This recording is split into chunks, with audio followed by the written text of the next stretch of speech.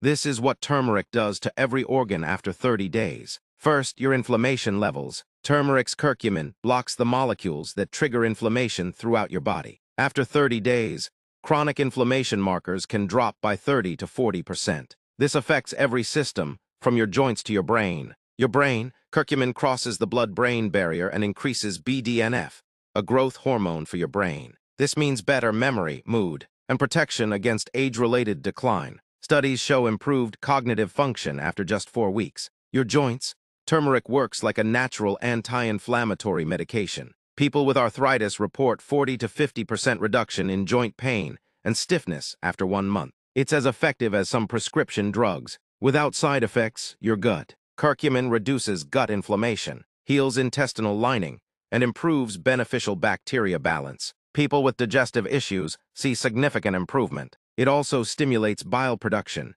helping fat digestion. Your immune system gets stronger, white blood cells work better. Your liver's detox pathways speed up. Antioxidant defenses throughout your body increase by up to 300%. If this helped you understand the body better, leave a comment and share.